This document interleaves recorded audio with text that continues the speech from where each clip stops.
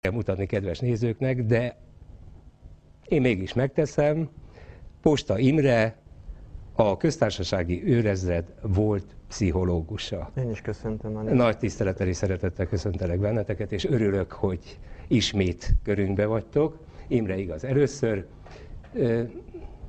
Hogy kerültél ki az őrezrettől? Kedves nézőink, előjáróba el kell még mondani, hogy Posta Imre, aki esetleg nem tudná, négy diplomás, vörös diplomás, több nyelven beszél, úgyhogy figyeljünk oda a véleményére.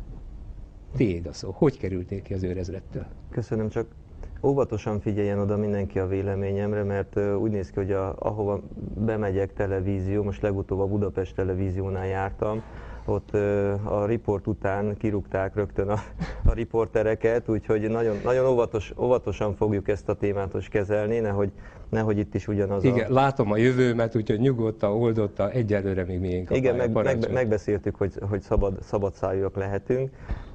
Szerintem az a lényeg, hogy hogyan kerültem az, az őrezredhez egyáltalán, mert hogy korábban én katonatiszt voltam, és a négy diplomám közül csak egy, egy diploma az, ami vörös, és ez nem azért, mert nem a színe vörös, mert egyébként ilyen vöröses-barna, kiválóan végeztem a katonatiszti főiskolát, és aztán pszichológiából szereztem három diplomát, tehát két szakvizsgával rendelkezem, és uh, talán ez, ez a lényeg. Uh, abból a szempontból, hogy a köztársasági őrezrednél, mint pszichológus dolgoztam 7 évet, és ugye a köztársasági őrezred az volt úgynevezett rendőri elit, így lehet tudni, ők védik a, az ország nagyjait, most inkább mondhatnám azt, hogy az ország szemetjét, de ilyet nem mondhatok, mert hát most nem tudom, a néző biztos azt gondolja, hogy az ország ez jelen pillanatban ilyen személygyűjtő hely, de erről majd később fogunk beszélni.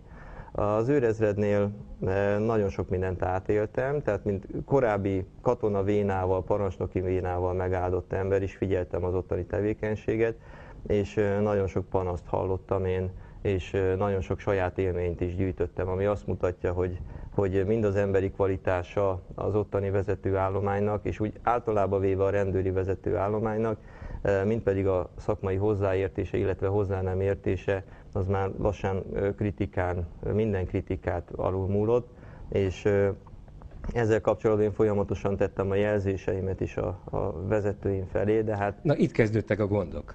Hát a gondok ott kezdődtek, a vé... nem, bármi ráfér az arcukra egyébként, azóta szerintem a néző pontosan tudhatja, hogy, hogy nem tud olyat tenni, nem tud olyat mondani egy rendőrségi vezető, amiért ne lehetne mondjuk feljebb buktatni. Tehát itt legutóbbi eset most Garamvölgyi urat, ha minden igaz, eltávolították. Ez az urat tegyük idézőjelbe, jó? Tehát eltávolították a, a sajtó szóvívői fő-fő-fő szóvívői beosztásából, és rögtön nyugdíjasként vissza is lett foglalkoztatva Bence kapitány úr mellé, mint szaktanácsadó, tehát marhára jó járt már megint a magyar társadalom.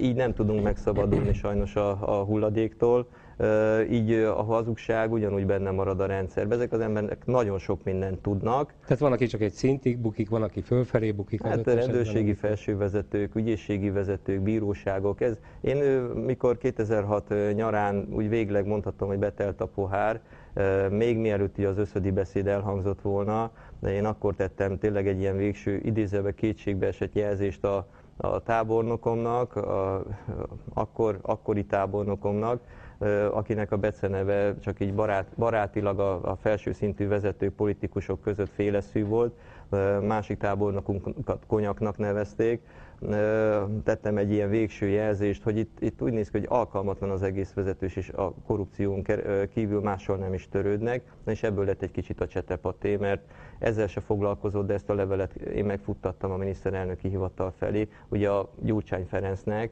mi vagy őt is a köztársasági őrezred véd, és amikor mondjuk egy, egy testőr, egy biztonsági szakember úgy nyilatkozik privátba, hogy én inkább belelököm a Dunába, nem, hogy megvédeném. Egyébként nagyon meg tudom érteni, tehát na akkor is, ez 2006-ban volt, akkor is, e, hát én azt gondolom, hogy olyan morális válságot élt át akkor az állomány, ami azóta nyilván csak fokozódott, hogy ezt mindenképpen jelezni kellett valahová. Ennek lett a következménye aztán sok-sok hajció is és meghurcolás után, hogy, hogy kirúgtak az őrezrettől fegyelmileg, én pedig nem hagytam és nem hagyom azóta sem magam, de ez az ügy már régen túlnőtte magát, az ügyészségeken, a bíróságokon, és úgy néz ki, hogy az egész nemzetre vonatkoztatható ez, a, ez az alkalmatlansági kritérium, amiben ezek a vezetők, illetve amire én azóta rá tudtam látni, és amilyen jelzéseket kapok itt mindenféle sértettektől, emberektől. Tehát ez gyakorlatilag akkor innentől már nem csak a köztársasági őrezredre vonatkozik. Ez, ez, ez, egy, ez, egy, ez egy kórisme, az egész társadalom kórisméje, amiben az őrezred kicsiben,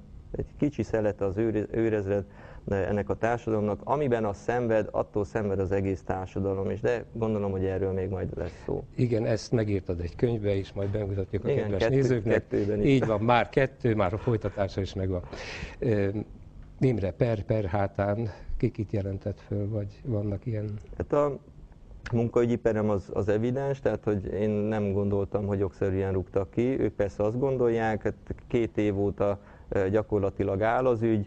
Most jött egy olyan, az első bírónőmet az simán lecserélték, mert nagyon normálisan állt, hozzáteszem a dologhoz hozzá, mindenféle indoknás nélkül lecserélték, és kaptam egy olyat, akit aztán marhára nem érdekelt semmiféle jogszerűség, és most éppen azon dolgozunk, hogy másodfokon, ja behívta az ellen, ellenérdekelt tanukat, és csak egy példát hagy mondjak, hogy annak idején a Tesla Zoltán, ő volt a miniszterelnöknek a, a személyi titkára, valószínű kocogó társa is, tehát mind a ketten szeretnek, szerettek futni. Remélem ez, ez, ez a jó szokásuk megmarad most is, és nagyon gyorsan elhordják a sátorfájukat. Ez a Tesla nevezető úr, ez nekem e-mailben is megköszönte, hogy én ezt a tájékoztatót megtettem a miniszterelnöknek, és nagyon sajnálja, hogy ez, ezek, ezek ugye kiderültek és nyilvánosságra kerültek, mert ő akkor nem dolgozott, nem volt éppen a helyén, és ő is úgy látja, úgy tapasztalta, hogy azokban a levelekben, amit én megküldtem, azoknak a tartalmával sokan egyetértenek ott fönn a felső körökben is. Na most a bíróság beidézte őt tanulnak, és természetesen Teisler úr elmondta, hogy hogy ezt ő leírta, ez, ez bizonyítható, de ez az ő magánvéleménye volt. Egyébként pedig a, a szakvélemény, a hivatalos véleménye az, az ennek szöges ellentétje. Tehát ez egy példa, hogy magánemberként azt mondja, hogy igen, egyébként úgy írta alá, hogy ő mint személyi titkár szignóz ezt a levelet, a bíróság előtt pedig lenyilatkozta, hogy egyébként ezzel ő hivatalosan nem ért egyet. És akkor kész. Rengeteg bűncselekmény, gyanús ügy került felszínre az őrezrednél, több tisztességes rendőr, és ez nagyon fontos kihangsúlyozni, hogy nagyon, nagyon sok, sokkal több tisztességes rendőr eh, van ám a közegben, mint amennyit az állampolgárok sejtenek, és ha hagynák dolgozni ezeket a rendőröket, akkor más lehetne a világ, de nem hagyják.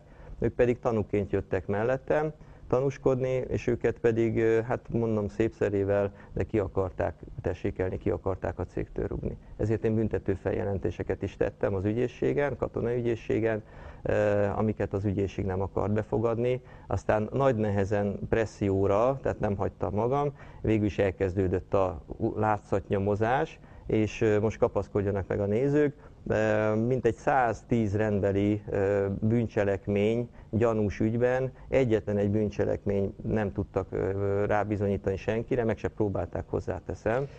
Viszont ellenem most hamis váddal, hamis váddal megy a nyomozás, már egy fél éve.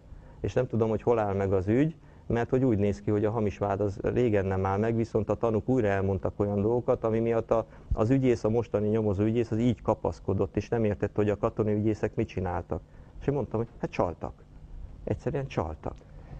Hát ha elgondolkodunk, ugye